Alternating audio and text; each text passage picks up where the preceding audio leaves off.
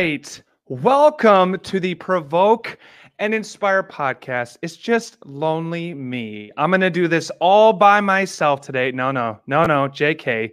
With me, as always, is Luke Greenwood. What's up, Luke? Hello, hello, Ben. I'm so happy to be here with you. We have you and Dave- I on we this have David podcast. Pierce. What's up? I don't know. When I see Luke, I was getting a little. He was. Never mind. Never mind. All right. And Chad, as always. What's up, fellas? Why is everyone so silent when I initially introduce you? You told us to be silent. Yeah, yeah. You said be quiet, guys. Oh, it's Greetings, brothers and sisters. It's because of the internet lag. It's because I'll be like, "What's up, guys? Here we are in lockdown reality," and then I'll wait, and then everyone will start trying to talk all at once, and it's just a conundrum, and I don't like it. Dude, uh, your this new- is- Can we you- talk about your new background? Because your new background is so dope. Look, shout out to Etsy, uh, Shout and, out to your new background. I'm What is forgetting- that? Is it gold? it's an acrylic sign that this was. It was handmade for me by a guy. I'm forgetting his name. I will shout out to him. That's a weird way of saying that uh, on the next episode. But yes, this provoke and inspire sign is dope. I feel like I'm looking better than ever. Very sleek. I got my sort of monochromatic outfit going on here. Yep. Uh, but anyway, this is the provoke and inspire podcast, calling followers of Jesus to radical faith outside of the church. We have an amazing show for you. We have Josh Porter, uh, formerly of Showbread, currently the uh, uh, pastor of teaching and creative vision at Van City Church in Vancouver. You know what? We had this big controversy where we were like, we shouldn't make our guests wait. It's awkward. It's uncomfortable. You know what, Josh? I'm going to bring you on. I see that you're here. Nice. I feel like you can is- handle our banter. So without any Yeah. further delay, Josh Porter, welcome to the podcast. Oh, thanks for having me. What what's the guest usually doing during this time? we usually put him in isolation. Yeah. Yeah. Drinking Look- tea. Look we have this we have this thing. We're trying to be really cool and legit you know where we have like a, an opener and then and then we sort of have a transition and bring on the guests. And we we just had a big argument before this podcast started because it's like is this just uncomfortable or what? And and so yes ultimately on the in the spur of the moment i decided it is. But uh welcome to the podcast nonetheless. How you doing man? Oh, thanks for having me. So I'm I'm an experiment in changing things up. yeah Yeah. Yeah. Well, we know that you're you're you're you're from the punk scene, and we figured you'd like that. You know, anti-establishment kind of stuff. i'm going well, thing I just feel like a lot of weight is resting on my shoulders. If my early introduction goes poorly, the next Well, poor person is going to be waiting in the wings. That's true. That's Yeah. true. I hope you do good. yeah yeah well anyway so Right. what you and me both. Look, I think this is going to be just fine. So far, I think it's smooth sailing. So, hey, you know, we like to just kind of ease into these things. So, so tell us, how is life? How are you doing? How are you guys handling this uh, unique uh, reality that we're all living in right now? Th- Oh, this is a question for me. It right? is. It is. Ah, I didn't want to overstep. No, no, it's all about you right now, man. Um, well, I don't want to be a simplistic, but I I am doing quite well. I feel pretty privileged in that way.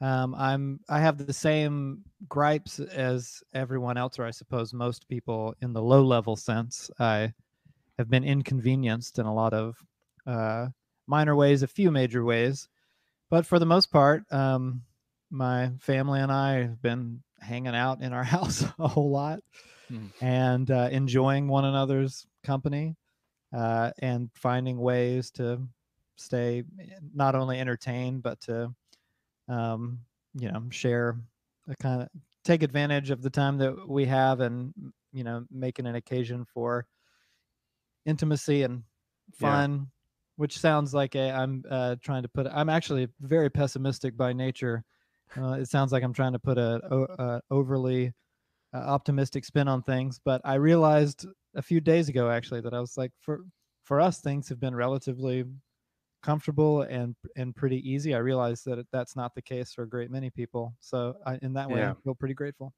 Yeah. Mm. No, I, I hear you. I feel the same way. And I, I don't know, even, even as I, as I sort of wrestle with the more peripheral consequences of this, like it, like you said, I, I find myself very sheepish in trying to complain because my family's healthy, you know, maybe some entertainment options have been reduced, right? But how can we possibly complain uh, when, when truly the very difficult reality that some of the people out there are facing is, is so much greater than the fact that I can't go to a movie or maybe I my, my uh, options for seeing people have been reduced. So I totally hear you. How are things going with your church? How how are you guys uh, handling this transition? I, I see, you know, just uh, yesterday was Sunday, and you see all of the online church services. And to be honest, my heart kind of goes out to a lot of these these pastors who I'd imagine it's a struggle. I mean, you put all this your heart and soul into this, and and you don't want it to be all about streaming numbers any more than you want it to be about seats, people in the seats. Um, but it's got to be tough when when so much of your heart and soul goes into this, and then all of a sudden you can't even physically be together anymore. Yeah, it's not fun. I I don't enjoy personally online church at all. I don't. I Yeah, that's dude. That's two of us. I I've pretty don't. much stopped going to online church to be completely transparent on here. Oh well, don't don't sorry, tell the people in my church that. I want them to actually show up. Yeah. All right, Yeah. all right. I won't Um, tell them. yeah it's i if i'm being completely honest and this sounds like a um a, a dramatic way of saying things but if someone had given offered me a job description for for what i'm doing at the moment i would have readily declined in an instant uh it feels a lot like planting a new church all over again and the kind of church that we're planting is not a church i would have ever wanted to plant i don't frankly i don't believe in the kind of thing that we're doing. I, I embrace it as a necessity for the time being, and and uh, the the folks in our church, we have a small little community, and they've been um, tremendously resilient and fantastically encouraging. Uh, so no one's pitching a fit, no one's complaining. Everyone acknowledges that this is not only not the ideal, it's just not the way that church is done, but they're also acknowledging that at the, the time being, this seems like the best thing that we can possibly do. Right. Uh, so we're we're making the best of it, and I think that I'm trying to be inspired by the folks in our community who are uh, wonderfully resilient and who are um, doing their best to be encouraging and remember that that's it, everyone knows or I don't mean to sound like a butthead but everyone acknowledges that it feels dumb it feels dumb to have church on a zoom call um, it Right. feels like you're you're putting so much work into maintaining some sense of intimacy and at the end of the day it's not really intimacy at all but we're embracing it for the time being because it's what we have so Yeah. with that Mm. said it's like both things in in in each hand you know One of So, our Josh- good, one of our good friends and um, missionaries from wow. Brazil says send your uh, your book along to Brazil. So I don't know if that could ever happen, but uh, just thought I'd throw that out there. The joke that we play on the world in Brazil to Brazil. So I have a question, Josh. Uh, what have you feel like you've you've learned anything from this pandemic in in terms of your your view of the world, your relationship with God, what's important, what's not important? Yeah, I, I feel as if I'm sure most people would say that there's been all kinds of um, educational moments throughout. It, it seems like such an unprecedented thing, and if you look backward, you know, through history, there's comparable times in history, but this one, in a lot of way, feels.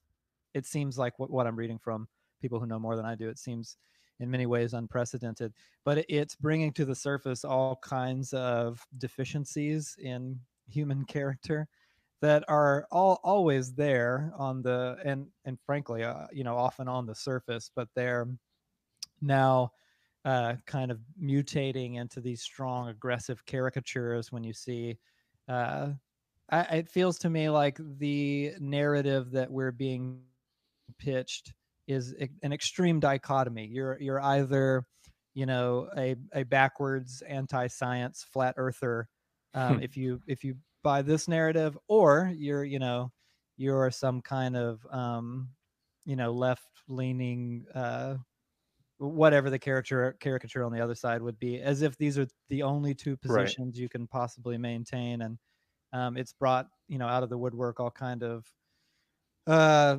debates around science and ethics and you you see the as here's my pessimism you see the worst in people quite frankly and um, I think that there's a, a a tendency to reach for some kind of uh, you know uh, through line that's like here's the greater purpose and all this or the greater me and my personal theology of uh, uh, providence and how the problem of evil and how things work uh, has a, a, a big shelf for chaos and evil. So it, it seems to me like it's not that unprecedented in the sense that the world is screwed up and broken things happen all the time, but it is unprecedented in the sense of the specifics. Right. So it's the same old conversations, but they're swirling around this new thing that's Hmm. never happened before. And people have lots of the same old questions, but they're applying it to this new thing that's never happened before. So in a lot of ways, it feels like the same old conversations, but Right. around this new thing, hyper, um, you know, juxtaposition between the right and the left, socio-political vitriol, the problem of evil. These are conversations that never really go away, but they've been aggravated to such a degree because of current circumstances. Hmm. Josh, do you engage a lot in in this like this that discussion? Because um, you know, I've uh, by the way, Luke here from Poland, and I've uh, followed Showbread from uh, some of the early days. Really enjoyed Showbread a lot. And uh, anyway, there was like I know that there's been a shift in your life, and now working more with with the church. Um, Showbread, you guys were engaged a lot in in the audience outside the church. What's that like for you now? Do you still get to engage in those conversations? Do you still have kind of I don't know evangelistic type opportunities, or just engaging with non Christians outside the church? I do, but I have uh, decidedly fewer of those interactions, which in the early days of my, um, I don't want to call it a career transition, but my focus on my vocation. Um, as you said, when I when it was showbread, I was um, almost every single night, certainly most nights out of the year, Hmm. was I was regularly having conversations with people who did or did not follow Jesus, or did or did not have any presumptions about Jesus or the Bible or Christianity and um, i was engaging with those kinds of ideas with people from different types of the christian tradition or people who are far outside of it interested or hostile to it almost every single night and now my vocation has brought me into a place where the conversation i'm having is mostly directed to people who follow jesus or who are new to following Jesus, have been following Jesus for a long time, but they're somewhere in that spectrum. And in the beginning, that was a uh, a struggle. I think I, I felt as if I had done something terribly wrong. That my vocation had put me in a position where I was having way more conversations with people who um, already knew and followed Jesus than those who didn't. Now my conversations are less like traveling around meeting new people every single night and they're more like i've over the last year i've gotten to know the guy who lives across the street from me that kind of thing Mm-hmm. the my barista at the local coffee shop that kind of thing um but you know i it seems to me that this is there was a time and a place where um, i was set in a certain vocation for a certain reason and now i've been moved to another one so my conversations back in the showbread days were much more about approaching the idea of following Jesus, the teachings of Jesus. What does it look like for someone to be brought into that evangelistic, to use your word? And now they're more like, um, what does it mean? What their conversations around discipleship? What does it mean to follow Jesus well? What Hmm. does it mean to apply the teachings of Jesus to be formed spiritually? And I think we need people for both conversations. Mm. And you know, I ideally I want to exist in both worlds and both conversations, but it seems like you know my vocations put me in one at one point and in, in another i don't know what it'll be next Yeah. Along those lines, I mean, I think that's really interesting that you've kind of lived, you know, not these two lives, but you've had these very distinct vocations and now you've kind of seen both sides. And and I think you you have that perception a little bit of um evangelistic efforts that they can be kind of um front heavy in the sense of this is maybe who Jesus is and this is what you need to, need to do to give your life to him but then it can be a little bit too shallow in the sense of then how do you become that apprentice of Jesus? How do you really live your daily life modeling who he is? And there seems to be a, you know, this very large, thin uh, following of Jesus, but not a lot of depth. And, so um, I, I would argue that we, on both sides of that, re- regardless of what side of the vocation we fall on, we should be striving for ultimately that common objective, which is lifelong, deep, you know, following Jesus every day. Um, how on how do we maintain that balance how how how did those with a discipleship calling not forget to still be introducing new people and and you know uh, really looking out for the people in their lives that have no concept of jesus and then at the same time how do those that do that all the time not forget that they got to go deep do, do, do you have any thoughts in terms of making sure we're really pushing both both things forward? Yeah, that was the journey of my church. The church and the church that planted my church was that um, a few years ago we realized that there was kind of a shared, deep-seated conviction that we had blown it as a church in terms of uh, mission, which I realize is uh, kind of a, a, cliche or overused word. We had not um, shown uh, spiritual responsibility for the city in which we had lived. We had not demonstrated a concern for the gospel, you know, sharing the actual mis- mission and story of Jesus.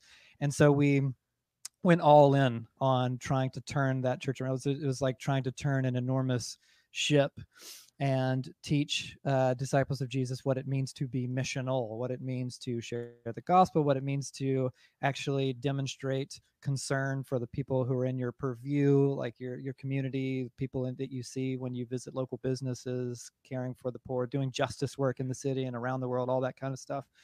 And it was mostly great, but one thing that we realized several years into that journey is that um, it's very difficult to teach uh, disciples of Jesus to be missional when they have not been formed spiritually, when they have not experienced a Hmm. level of spiritual formation that they understand why it is that they would care about the Right. people Yeah. in their community. And that thing doesn't kind of click on from the moment they come to faith or for the moment they hear the story. Um, for some people, it does. Some people have a natural wiring that demonstrates a tremendous concern for people around them, and that's who they are. But but most disciples of Jesus um, have to grow and train in the way of Jesus and be formed in the way of Jesus, so that they learn what it means to be missional. And so, because of that experience, and informed by a lot of writers like uh, Dallas Willard, was huge in our Mm. uh, transformation from going all in immediately on the missional thing and then realizing that uh, we had we had to kind of go backwards that the cart was a bit before the horse Yeah. and teach people what it means to follow jesus to like actually train in the ways of jesus and Hmm. that you know that Hmm. jesus used the language of practice whoever practices and teaches these commands um, these teachings we realize that the way of Jesus takes practice, that Christ likeness Yeah. is not natural, that you have to actually learn the teachings of Jesus, put them into practice, and be formed over time.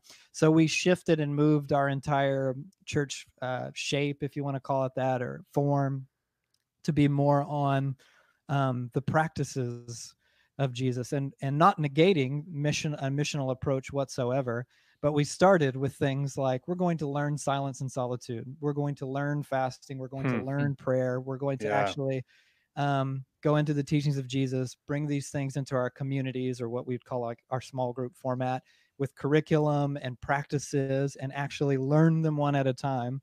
And then eventually in that process we got to um, sharing the gospel. We got to you know outreach in the community and things like that um, not because we think that those things are secondary in any way, but after a few years of learning what it means to fast, to practice silence and solitude, to sit in prayer, to practice the presence of God, um, to, and and not just those things, but principles of emotional health, uh, health, dealing with your past and Hmm. confronting trauma, things like that, seeking out um, mentorship, spiritual direction, therapy. And then we bring people into a conversation about what does it look like to have your neighbors over? What does it look like to talk to the, your barista Yeah. about Jesus? And we found personally that that conversation went much better after hmm. those years of practice than it did when we first tried to just go all in on you know turn on a dime this is our focus now we should be doing this we've missed something i still totally believe that we were missing something and that we do miss something when we you know become insular and turn the focus away from mission. But i do think that um, it takes practice and training in the ways of jesus to even bring people to a place where they understand why mission matters at all so that it doesn't become an exercise in duty but like the natural outworking of of loving uh, concern for the gospel itself.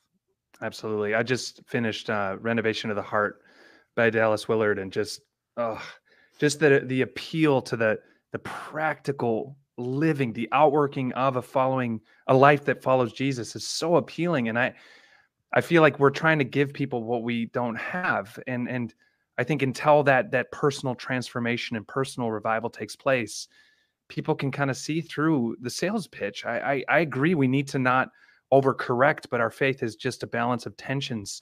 Um, sorry to to ask another question here. I love this entire topic, and I, what have you found has been the biggest barrier to your people grabbing hold of this call to become, you know, these apprentices of Jesus, to really become formed?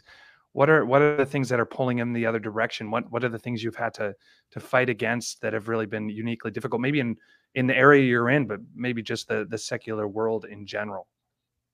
Um, I think trying early on to help our people understand that all spiritual formation is counter formation hmm. um, was coming up against the the the primary barrier, which is the formation that's being done to you, whether you want it to happen or not. The idea that um, Christian spiritual formation, uh, or spiritual formation in general, rather, is not a uniquely Christian concept. We're we're all being formed. We all follow certain masters and teachers. We all are religious in the sense that we have a worldview, we have a belief system in place that interprets the stories that we hear in the world around us. And you are being turned slowly into another person over time, whether you want that to happen or not. This is not unique to a spiritual or religious worldview. Yeah. And the stories that you're hearing come from a myriad of different sources. You have the culture surrounding us, and we li- I live in the Pacific Northwest in the greater Portland metro area, which is a, a formation machine. You are being told what to think about a great many things political, spiritual, personal yeah. on an everyday basis. You're being, you know, given stories from advertising. You're certainly be, being given stories from the, you know, the news media and the political spheres. So you're, you're being formed, whether you want to be formed or not and you will not be formed into the likeness of Jesus by simply reading the scriptures and showing up to church. Those two things are crucial and they're part of discipleship, but that will not make you more like Jesus over time, which is why Jesus' teachings are populated with a much more than simply belong to a community and read the scriptures. It's not less than that, but it's a lot more than that. Hmm. To do, um, to be formed into the likeness of Jesus, you have to do counter formation. You have to go against yeah, the yeah. stories that you're being told. You have to go against the habits and practices that you've picked up over time that are either kind of innocuous and they're just what you do or the in you know negative habits that you've learned over time and learn different habits instead because habits shape the kind of person that you are you you um, don't do spiritual disciplines because you're supposed to tick them off a box. You do spiritual disciplines because they turn you into a different person slowly over time. So I think that coming up against the barrier of like, why why do I need to do these extra things? They feel like things that are going to populate more of my time, and my time is already precious. Why do I have to do? Um, can't I just show up to church and read my Bible and be moderately decent morally? and ha- hmm. helping hmm. people understand like we're all become you know even if you just look at the trajectory of your life 10 years ago hmm. hopefully you're a different person than you are yeah. right now and when people realize that they're like i guess i am changing and i'm changing because of things that i've come to believe over time or because i started doing this thing whether it's a, a good thing like i started jogging or a bad thing like i picked up this negative habit and it's turned me into this different person helping people understand that formation is inevitable and that counter formation is crucial in discipleship was i think the big first step in our hmm. journey i like yeah, i like a lot josh cool. how you're talking about um, the process of transformation and the process of being formed re- regardless of whether it's where you know like no no i'm not being changed at all and it, it's like well whether you want to be or not you are being changed and you know, there was a time in our lives where uh, life life just seemed so I don't know, maybe maybe um, unique or specific to a moment, and I can you know I can recall thinking back on you specifically, but your band more broadly, and and I thought you know these guys are like the greatest oxymoron of artistic endeavors because you were like on one hand you were like you had grown up southern baptist uh, you were like good southern boys and um, you guys as far as i knew didn't swear in any of your songs or publicly. You you didn't consume alcohol. You didn't smoke marijuana. You didn't. Uh, there are all these kind of things that that would have been taboo then. Hopefully, maybe in some ways still are taboo now that you didn't engage in. You did shoot me in physically shoot me with a BB gun while whilst on tour and you you were the only band that tried to get me to watch Evil Dead 2 with you while on tour.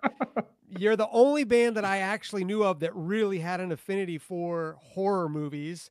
And I know I'm kind of like shifting gears a little bit on our discipleship conversation, but you and I had talked about this book that you're working on and the concept of uh, how we as Christians, if I'm understanding it correctly, the concept of how we as Christians understand or if stripped down offensive art. Um, specifically, if I'm not mistaken, the title of your book, forthcoming, is going to be With All Its Teeth Sex, Violence, Profanity, and the Death of Christian Art. Can, so, can you just I feel like I just threw up, but can you just make sense of all that and bring it bring it into into a, uh, a so Chad does best. Yeah. Yeah. Chad, Chad I just throws up. verbally threw up. I'm sorry. That's the next book one Chad's of the things writing. I do really yeah. well. yeah, that's after your risks book. As Yeah. Chad Yeah, yeah. throws Up. How to Chad Johnson story. how to throw up really well. I, I actually think there's a bridge there between the discipleship conversation. Um, nice. Thanks. and I th- if for a, a lot of my the the book that I wrote uh, came from years of experience and con- conversations with um, folks that I felt personally, and at this time I was um, uneducated, and it was like a, it was not a formed um, opinion or philosophy, but it seemed to me like uh, inside, certainly inside the Christian music industry bubble, and then in the kind of wider um, evangelical church bubble, there seemed to be a pervasive low view of art, and that's not that's uh, not um, just you know unsavory art or offensive art, but just art in general. It seemed like there was a prescribed way of doing art and creativity, and if you followed that guideline, then you had a place in the church. And you had a voice artistically w- within li- certain limits, but you could do it as long as you did the cookie cutter thing but if you deviated from that expectation, then um, it was questionable, it was unwelcome, it was suspicious. And uh, I had, you know, as I had grown up um, as a person who was interested in art and creativity, um, got into music, and the things that most inspired me to make art were not things that came from inside those bubbles at all. It was like uh, my dad playing Queen records for me when I was a kid, or um, it was you know a Steven Spielberg film that I saw when I was young. It was uh, the kind or reading a novel by Kafka when I was in you know fifth or sixth grade, and um, I did not see this gigantic chasm between like you know a secular way of doing art and a christian way of doing art. I saw all art as potentially useful in the experience of the disciple to jesus it did not occur to me that like oh i'm not supposed to like kafka because i'm i'm a christian I, it inspired me it spoke to my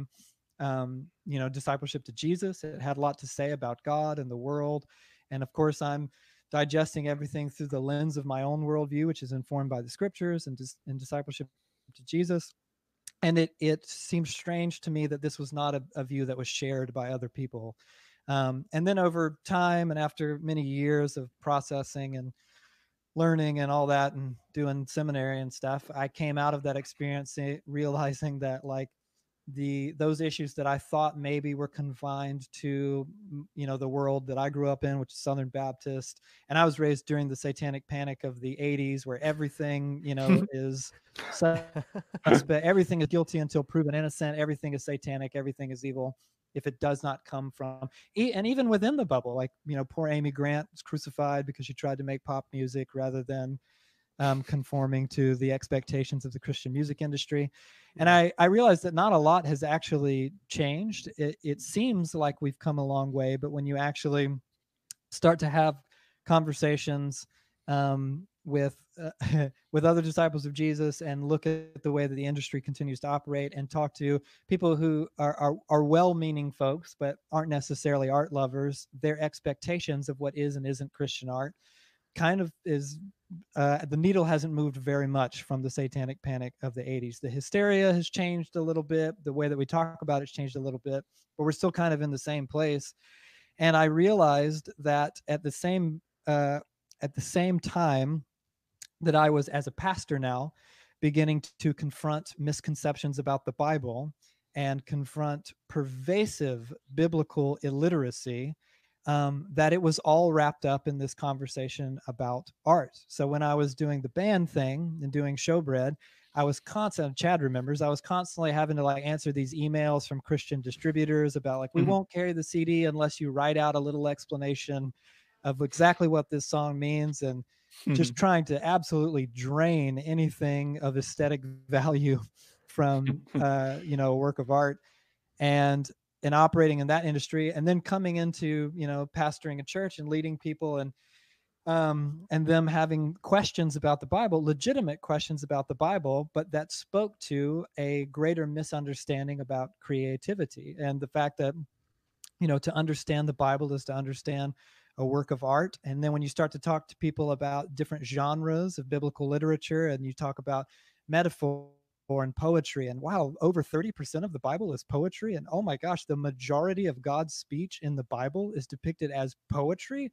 And people have this um, jump that they make mentally where they where they think, oh, metaphor equals untrue, or poetry sure. equals fantasy and rather than these no these are true things that the uh, god is using through human authors to say things that are absolutely true about the world but he wants to do it through poetry or jesus wants to do it through a parable and some of those parables are violent and offensive and some of them are uplifting and redemptive. And i realized that um, if people had a wider a broader understanding of the way art works in general then they would have a much easier time understanding the Bible. They would have a much easier uh, time, or they would be less conflicted about some of the things in the Bible that uh, shouldn't really be that conflicting to the reader. And then other areas of the Bible that are, are meant to provoke you, that are meant to upset you, they'd be able to sit in that tension and appreciate it the same way that you can, you know, watch a complicated film and appreciate that you don't have all the answers or appreciate the tension in which the film leaves you. So it it started in my you know the punk rock band phase of um, feeling a bit defensive, feeling like why doesn't why does it feel like I have to explain things that shouldn't that don't need explaining or that are a bit insulting to have to explain, and then it grew up into I hope a more mature um, burden that I felt to help people understand the Bible. I think that um, a devaluing of art is a kind. This sounds really dramatic, but it's a kind of heresy because hmm. God hmm. made art up. God is the original right. artist, and He calls the readers of the Scriptures into an artistic experience, not just an informative hmm. experience. Hmm. And if we have no um, spiritual discipline of art appreciation, then we're going to miss a ton of the Bible. We're going to depreciate something that God made up that He not only asks us to participate in, but He He actually requires us to appreciate art in order to engage with the scriptures at all, and in, in order to engage the things that He's made and the our experience of the world. I, so I think that that's something that's much more important than just uh, oh I'm not an art I'm not a film lover or I'm not a creative person, so that stuff doesn't matter to me. I think that it, in hmm. some sense, it has to matter to anyone who would follow Jesus, and yeah. we're missing something if it doesn't. Hmm. Yeah. Um, so Josh, I'm I'm really yeah, old. You know, I'm the really old guy on the on the podcast. So if I if I fall over at some point and die, it's just natural. You don't have to worry about it. Um, but uh, I I started my roots are in the punk scene in the 80s in Amsterdam. Uh, we didn't really do anything in any uh, Christian venues or anything like that, but we were very straightforward. But you know, our our our art, our music was very confrontational. Like in Amsterdam, there's a big, you know, if you're if you're walking down the street with your dog, people slow down because they don't want to hurt the dog. But if you're with a child, they won't slow down because they like dogs more than people. And so one of the songs that we did back in those days was uh, uh, the lyrics were let the children die of infectious disease. Protect the rights of the animals please. And then we would take these these uh, stuffed animals and throw them in the clubs and then they'd throw them back at us. And it was kind of a you know people would see that song out of context and they wouldn't understand that it was uh it was metaphor or it was you know ironic. Um but then we got very in our show in the punk scene we got very clear in our message you know where we had like Jesus electrocuted on a mic stand cross and all kinds of crazy stuff that we did.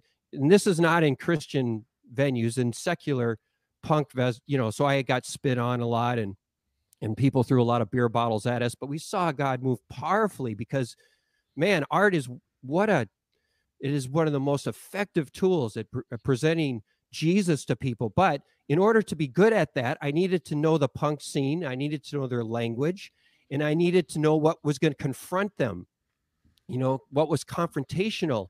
And so, um, what I've noticed, because then I I went to some some Christian festivals, not that many, but a couple, a few Christian festivals in the U.S., and I was shocked at the lack of message that I saw in Christian bands, like no message.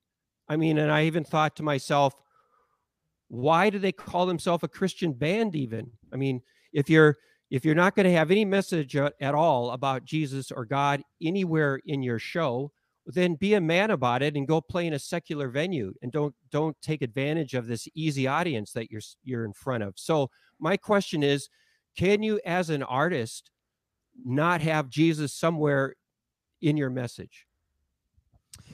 Well, it depends on this my personal answer anyway. It it depends on what you think is um, necessary to qualify as Jesus in the message. Sure. You know, C.S. Lewis had this famous bit about um, the you know the requirements for being a, a good Christian storyteller are the exact same requirements for being any kind of storyteller. You tell right. a good story. Um, and you know, there's this um, famous quote that I, I, believe is falsely attributed to Martin Luther about like, um, if you want to be uh, a shoemaker for God, then just make good shoes. You know, um, so I think that uh, it depends. I, I, remember this being a huge conversation in the uh, around the Christian music industry in early 90s uh, tooth and nail era when um, a subculture of punk rock music was beginning to permeate um, not just the Christian music industry, but the punk scenes in cultural hubs around the country. So a place like Seattle was now having bands who espoused some kind of faith in some sense that were playing in clubs alongside these other bands who were espousing no faith in Jesus. And there was, for the first time, a kind of um, reputable Christian punk music. It didn't seem like it was contrived to, you know, steal an audience. It seemed like these are just bands that happen to love Jesus and they play punk music. And now, for the first time, the Christian music industry is having to deal with the fact that we have um, these outsiders, these disruptors that are they're independent and they uh, they're not really playing by the rules that we're used to, but they they have distribution now, so we have them in our bookstores and what are, going, what are we going to do with this? And then at that time, there was a huge question, especially with the rising popularity of Christian punk bands, about like what is like uh, what qualifies as Christian music and what doesn't. But the roots of it actually go a bit further back because well, I mentioned Amy Grant. This is twice now, Amy Grant in one podcast. Yeah, yeah, man, we get the hint. I love Amy Grant, um, and her album "Heart in Motion" is still a fantastic record today. If you go listen to it with headphones, listen to that thing loud. It's amazing.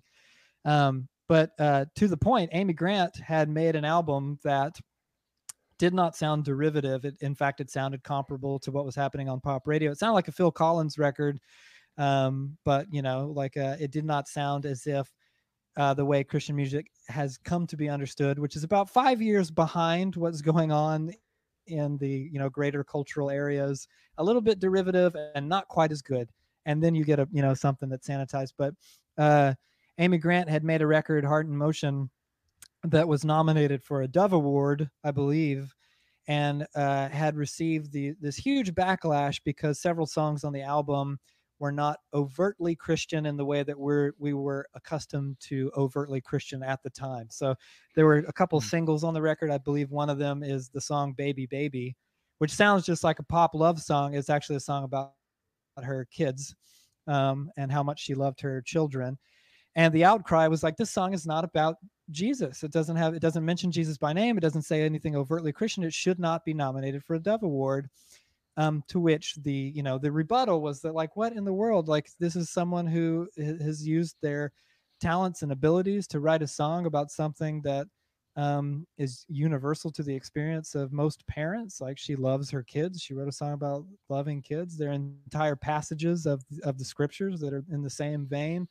Um, all that to say, I think that the for an uh, a disciple of Jesus who is an artist, I think that there is an inevitability that Jesus will be a natural outworking of the things that they have mm. to say how obvious that will be to everyone will differ from person to person based on you know the mm. people audience in the same way david that you're talking about there were people who didn't realize that what you were doing was satire um, even though it seems like even just hearing a brief retelling it seems obvious to me and funny um, but there were people who divorced yeah. of its context thought that you were actually endorsing the things that you were satirizing yeah we um, were we were like in some newspapers they said we were a satanic band yeah. and hey, you're in good company. They said the same stuff about Amy Grant, you know?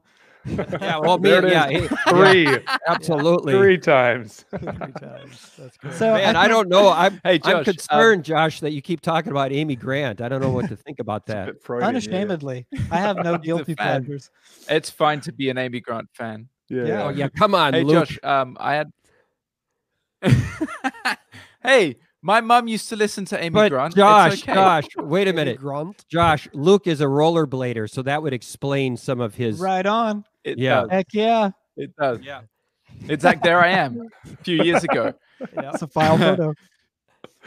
Josh, I I um I agree with what you were just saying. I think that there's a lot more to when we I like how you you put it that if if naturally as a follower of Jesus it will come out in whatever we're doing um, and it will come out in different ways. And I feel like there's a depth to what can be communicated through art that is missed. And maybe that's what you're looking at or addressing in the book. Um, and when you were talking before about the depth of art in the Bible, it was reminding me of um, when C.S. Lewis talks about the numinous and how we've lost that sense of awe, or like we don't realize that there's this there's this supernatural ability to um, be aware of God in in this way that just shocks us, that just just hits us, and if it's like modern man or like uh, in our times, like nothing shocks us anymore, and people they don't get the mystery of God anymore, and I feel like when you were talking about the role of art, it feel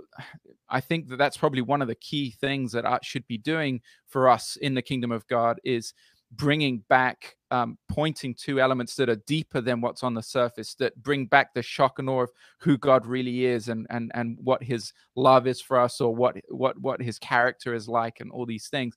So, and I've thought about this for a while, but I've often struggled to know how that can come out practically. Like, how can we um, portray in a way, or, or allow our, our art as a church to go deeper and you know you've pointed it out there's a lot lot of stuff you get stuck in a box. But even the stuff that's kind of broken the box sometimes i feel like we've just been able to step outside and do something that that you know mainstream was already doing. And we're like oh great we can do it now as well. But yeah. there must be more than that. And i feel like we, maybe a few artists out there have done that but very few have really um, gone further. And, and, I'm not sure if that's exactly where you go with the book, but could you speak into that more? What do you think about that? Is there something more we should be doing artistically in pointing to God and to and to you know to to our faith? Yeah, I think that the first and foremost is to develop a robust appreciation for art in general. I think that um, the and I don't mean to be um, overly simplistic. I, I, realize that there are a great many artists who follow Jesus who are doing um, doing their best to be uh, groundbreaking and to you know uh, not self censor and th- things like that. But to for the sake of time, let me just be a bit overly simplistic. The bad reputation that Christian art has usually comes down to inauthenticity. It seems like um, my wife and I play this game. This is mean, but we play this game when we're traveling and we flip through the radio stations and we try to name the Christian station before we hear any identifying lyrics. so nice. just based on sound alone, can you name the Christian station? You know, click, click, click, and we win every time. and it's because it sounds kind of lame. It sounds like not, it sounds insincere. It sounds derivative. And you're like, there it is. And then you wait a second and then here come the, you know, uplifting um, emotional lyrics. It's the same way that I don't know if you guys have ever sat in a movie theater where the trailers that that preface the film, one of them will be like an independently funded Christian movie that had enough money oh, to yeah. distribute a trailer and and you know, and you're sitting there and the trailer starts and you're like, what the heck is this? Why does it not look like a real movie? Like, is this a, is this an SNL bit? Is this like a commer- Is this a fake commercial? And then it'll say from the producers of the last big Christian movie, and you're like, oh, there it is. Um, and that's it's such a shame. It's it it and it's a palpable sense that you can feel in the room, people laughing, that kind of thing. And it's not always, you know, someone's fault. It's not always because it's insincere, but I think a lot of it has to do with these are products that are being manufactured by people who don't act. They're not actually filmmakers and film lovers.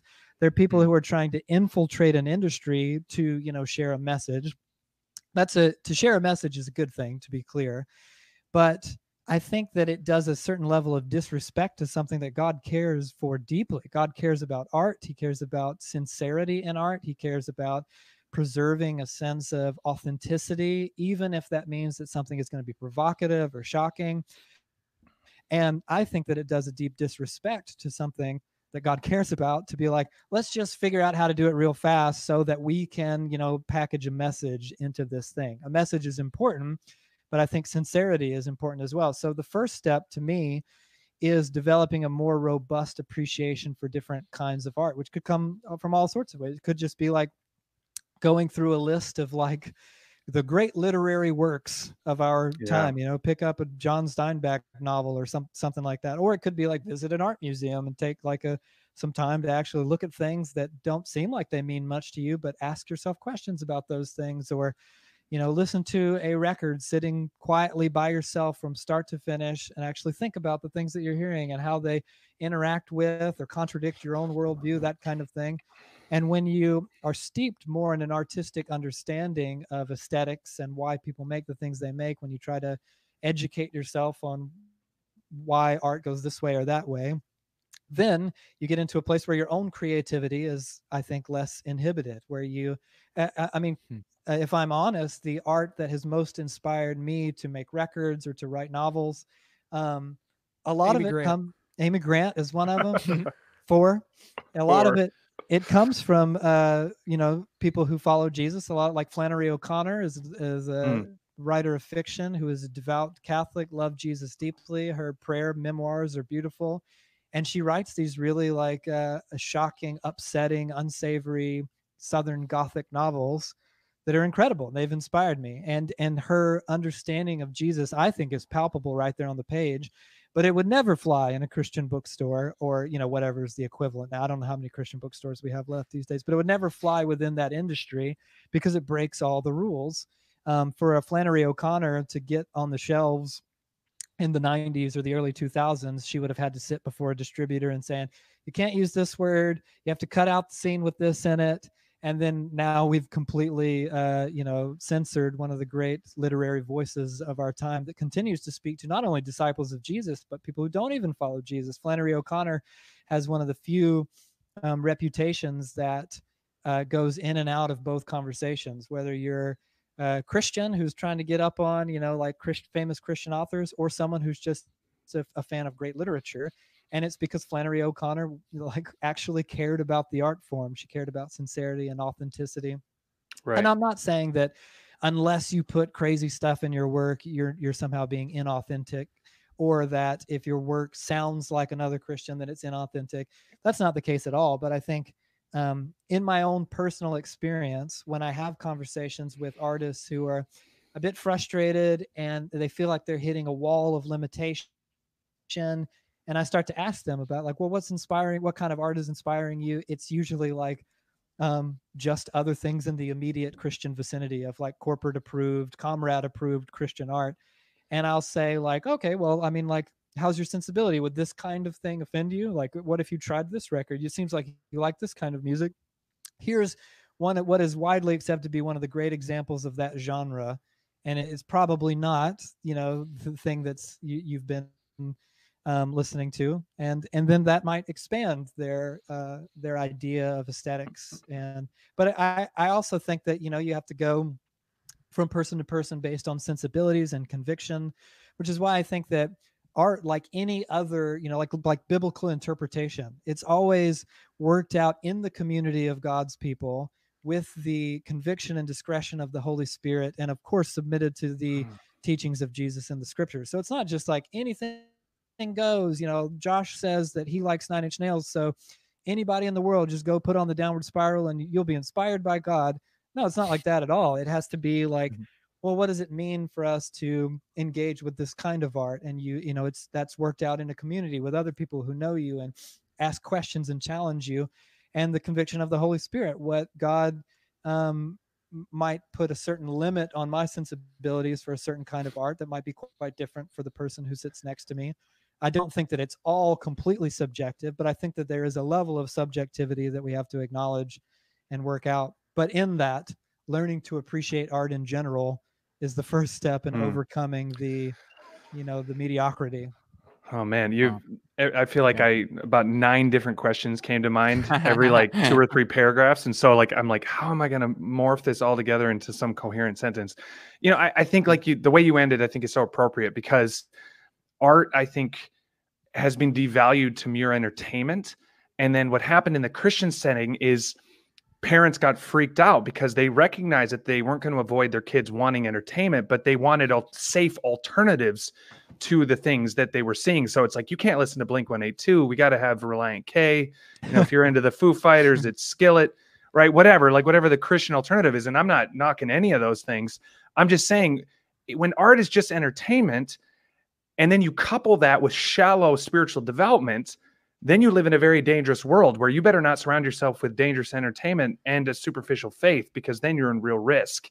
And so I do think these topics kind of marry together. Um, so I, I, think that that's a huge part of this. To to address the elephant in the room, though, I, I think eh, one thing you said that was so good was that this is worked out in community and and with the guidance of the holy spirit. But the problem with art is that often the art is being put out far beyond the reaches of community. So the person across the world who's listening to what you're putting out is not in community with you. And and often it feels that the the um the sort of uh, moral boundaries maybe that are being pushed in the name of authenticity that could potentially be something that would would weaken someone's faith are not done in the wrestling of brothers and sisters but done thrown out there, often as you say, divorced from context. Can how do you wrestle with that? You know what I mean? Because you, you don't want to be the millstone, right? You don't want to hurt somebody's faith while being authentic.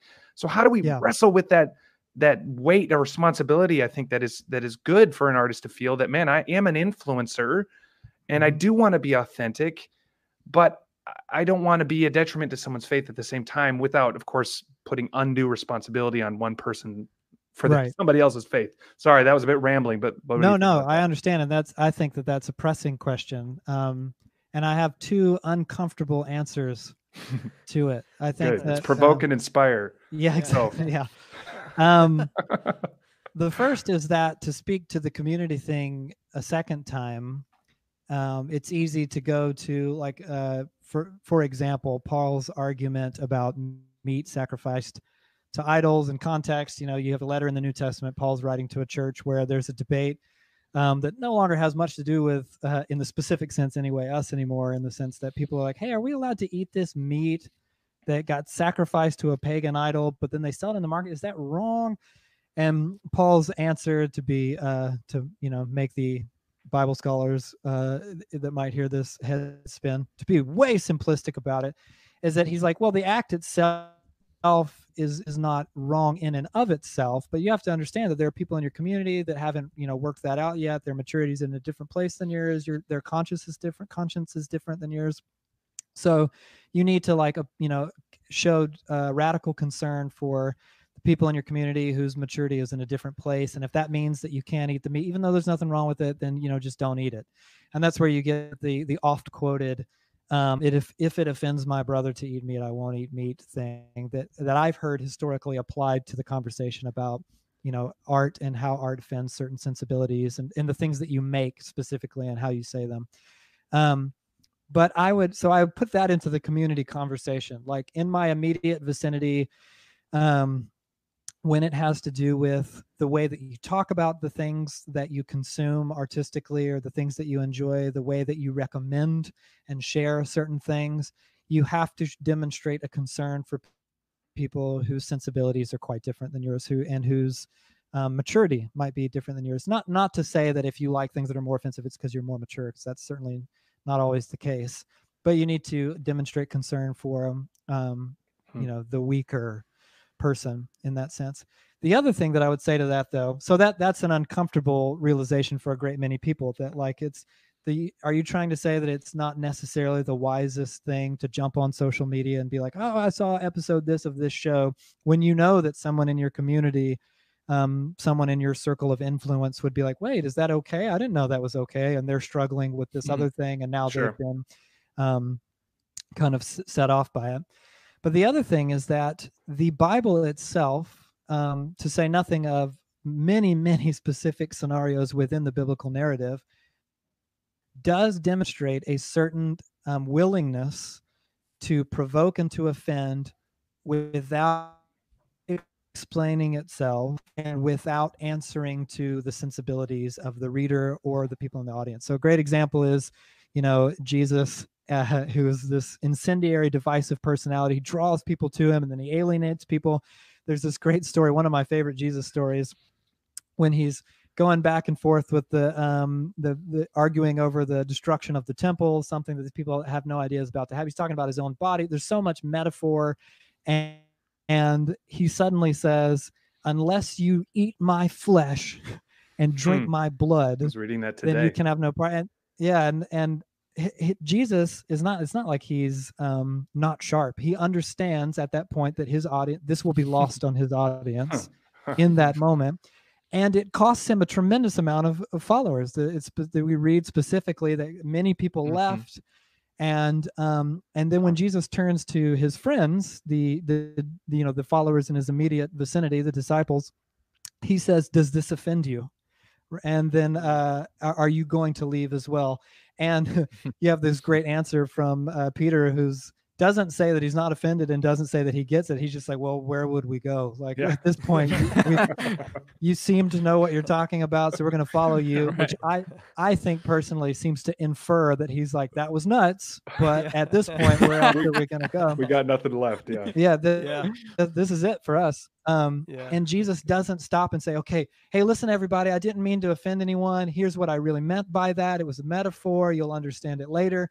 And that's not an isolated incident. I mean, the Bible is filled with stories like that. Jesus does that kind of thing all the time, deliberately provokes people. In fact, um, he is asked point blank, why use parables when you know that not everyone will understand them? And Jesus says, that's the point. The point is that hmm. Not everyone understands them. And he has this really crazy cryptic sounded thing where he says, like, to the one who has, even more will be given. To the one who doesn't have, even what they have will be taken from them, which most scholars take to mean that he's saying, if you're on the in and you're understanding the metaphors that I'm using, it's going to speak to you in a profound way. But if you're hmm. like, no, I don't get this, I'm kind of standing on the outside, being cynical and skeptical about everything he's saying, then even the little bit of insight you have will be taken away. So it seems like Jesus is willing to be confusing on purpose at times. It seems like he's willing to provoke at the expense of his um, audience. It seems like the Bible itself does that over and over again. You know, you get this crazy story about Ezekiel and the sign acts. He, he essentially does street theater where he does all kinds of crazy stuff, ties himself up and cooks mm-hmm. food over poop. And in the story, like God specifically says, it won't work like the no one's gonna get it. It's gonna be upsetting. You can imagine that dude like laying on the side of the street with ropes on himself, and like it's not like they're they're ancient context is so different from ours that that was normal. This was these were actually. I've I've, I've done that in Amsterdam, so it I didn't work either. didn't work yeah, did, yeah. The question is, did it work for you, or did it work any better for you? Yeah, David? actually, it did. It did work, but that's another conversation. Anyway. Yeah, and God doesn't say, "Hey, listen, we might offend somebody, so we need to actually consider." whether or not this will be misunderstood it seems like it's kind of part of the part of the piece the performance art when God appears to people, he appears in these elaborate visions. You know, when he, um, the thing with Peter or his message to Peter about carrying the message of Jesus to the Gentiles comes in what would be to an uh, first century Jewish imagination an offensive picture of these unclean animals that like, hey, eat these things. And he's like, no, I'm not going to eat these things. I'm not supposed to. Why wouldn't God hmm. just say, hey, Peter, it's time to carry the message on to the Gentiles? That would be clear, unoffensive. Right. Everyone would understand it. Um, and it would certainly have been easier, but God doesn't prefer that. He prefers to use art. He prefers to use vivid imagery. He certainly prefers symbolism all the time, all across the whole scriptures. Even the ancient traditions of um, ancient Israel are replete with symbolism, uh, in symbolism that's kind of gross and upsetting, sprinkling of blood and animal sacrifice, things like that, that themselves are symbolic gestures speak to a deeper truth and a deeper reality. And god doesn't revoke the entire system just because it's going to offend the sensibilities of some or be misunderstood by anyone. So all that to say i think that there's a tension between the two things. I think that the disciple of jesus is called to be morally responsible called to be wise and mature and discerning about the things that they say and the things that they share that said i think personally that a disciple of jesus who is an artist and called by God to be an artist will inevitably be called to make and create things that are going to be misunderstood, misinterpreted, and and likely offend the sensibilities of some. And that's part and parcel of the experience of being an artist. That's the mm. way God's art works. That's the way the creativity of Jesus worked. That's the way the Bible itself works. So mm. it's within that understanding that doesn't give us a, a, a, license to operate with impunity and say and do whatever we want whenever we want. We, we're morally responsible, discerning, and wise, led by the Holy Spirit in the community of God's people, understanding yeah. that it is inevitable that some will be offended and some will misunderstand. Yeah, you the thing you said about the parable resonating so much with some person then being lost on someone else. I remember we were playing a show and demonstrate the the life, death, and resurrection of Jesus in a really symbolic way, in a really powerful way. And I'm with this this girl, and she's crying, and she's praying to receive Jesus, and then the very next person I talk to comes up to me says, "Do you realize you were playing using satanic riffs?" And I was like, "Well." You don't win everybody. Uh, yeah, case in point. Yeah, yeah. I was like, "What are you supposed to do with that?"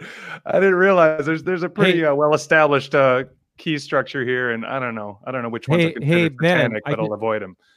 Ben. Yes. I just got a text from Nigel. He said that uh, he loves loves you, Josh. He's your number one fan. Did you know this, Josh? About do you know who Nigel is, Josh? that's very nice of Nigel. Wow. Yeah. yeah, and he wants to know. I, I, I, he just he just sent me a text, and he wants he wants me to ask you a question. Is it all right? Yeah, absolutely. Let's hear it. So he wants to know what you think of the uh, RLIUA initiative. And would you endorse that publicly in your church? The RLIUA initiative. I can't say I'm actually familiar with the. But, uh, it stands for Release Lions into Urban Areas. It's real. This is a real thing. Yeah, he he. or this is what he thinks. Well, I mean, look at he that feels, banner. I mean, that's pretty real. Yeah. So he, here's what he thinks. He thinks that you know, if people were out, you know, you're like out walking around and all of a sudden someone goes, Hey, where's Billy? And then, and then it's like, Oh, a lion got him. That would make it more interesting. It would bring, it would, it would cause more tension when you're out. It would cause people to ask the big questions. Uh, you know, he feels like it could be a, a kind of the key to the new revival. Um, if, you know, to put, you know, lions in all the urban areas, uh, so that's his that's kind of his thing. Well nigel um, let me give you a really serious and uh, sobering answer here. I actually like animals a lot you know i'm a vegan i don't eat the animals.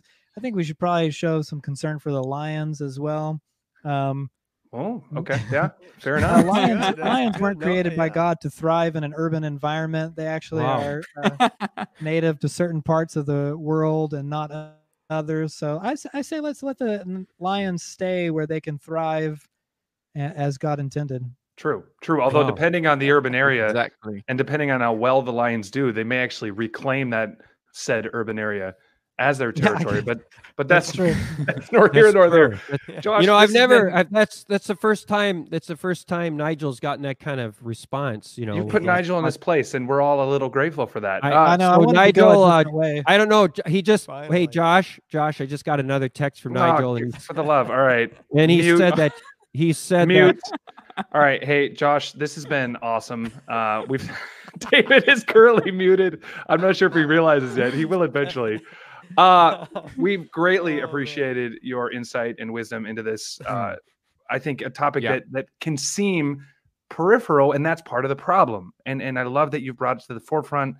Um, and and for all that you've done to encourage this. Um, when will this book come out, and how can we get yeah, it when dude, it does? Um, well, it I was talking to uh, publishers uh, around the time that the pandemic really oh, fired up. so the book release plans are kind of on uh, hold at the moment, but uh, as soon as things start to re- return to some de- some degree of normalcy, I, am assuming those conversations will resume. But one way or the other, I mean, it's done. One way or the other, it's coming. Cool, cool. Mm, awesome. All right. Well, maybe if you're you know gracious enough to come back maybe we'll have you on when it's out and we can we can go deeper because i feel like there's so many even aspects of this conversation we didn't hit. So yeah. Yeah well, uh, yeah thank you so much. Honestly um, we're uh, we're grateful for your time and uh, we're praying that god would use you in this season and uh, hopefully we can all all get back to actually meeting together because as fun as this is uh, i don't think this is how any of us want it to be. So agreed. Yeah. Thanks man. thanks, guys. Thanks for all having right. me. Yeah thanks, god bless. Josh. Love you bro. See yeah, ya josh. thanks all right. Well, there you have it. Uh, that was an awesome, awesome conversation. Wow. Yeah. That uh man. One of my favorites. Yeah. Yeah. Sincerely. Sincerely. I hope mm. we can have him back. Uh we were mm-hmm. we were throwing texts back and forth. Should we do a random story? Why did Ben ban- abandon the random story? I don't even know. I just panicked. I David, saw him there and uh, I, you I was trying to get it was great. What's up with it was that? Great. We it was fresh. long I don't think it was great, but it's like all of a sudden you just I like think it was great. Go off script. No, it was the right move. I feel very, very fresh. good that it was the right move. All right, here's how we're going to end. Luke, before everyone abandons the podcast because yeah. Josh has left, hit us with the compact school, hit us with the numbers, why people should join. Boom, oh, go. guys, there's been a brilliant update today. We just David told me before this that we hit 518 people signed up for the compact school. That is brilliant. Yeah, we had plans to use a Zoom room for 500, and now we're scrambling to use a Zoom room for a thousand people because we think there's Luke, a bunch of people that still need to sign up. Saying Zoom room. Sorry. no, I'm kidding. Uh, StreamYard. I mean StreamYard. but uh, uh, no, there's still room for you. So sign up. You go to steiger.org slash compact and you'll find out that it's from May 29th to 31st, last weekend of May. It's also on the first weekend of June. It's the same school. It's just on two weekends. So you get to um, learn on one weekend, and then during the week, there's some breakout groups and uh, going deeper into stuff. And then uh, the weekend of the 5th to the 7th of June is the end of that school. So it's amazing because we usually do this in the cities where we have teams. And so we might have a few people there speaking. This time we're bringing in everybody who's part of our mission and who, you know, contributes with wisdom, experience, and different ideas. You will enjoy it a ton. There's a lot of good content. So sign up today. Yeah, hit that big red button. Are running out quickly. Hit that button. Exactly. Hit that red button. Come on, there Chad. Try to point at that red button. That'll help. Hey, and don't don't forget the three R's yeah, yeah, yeah, people. All right. If you like this podcast, it will come out tomorrow, about 24 hours from this very moment. Uh, you can search, well, Provoke and Inspire, obviously, on Google. Uh, you can search it on iTunes, Stitcher, Spotify, Spoozer, Dingus, Bananagrams. It's everywhere. Uh, also, the three R's, remember, rate, subscribe, and review. Uh, that helps us out. That increases the exposure of this podcast. also, join the Provoke and Inspire podcast community page. Oh, yeah. What? I just said, oh, yes. Oh, oh, yes. Guys, that was fun. I'm a little tired for some reason. It feels like Friday. It's only Monday. Uh, but I love you guys very much, and we'll talk to you next time. Peace. Peace.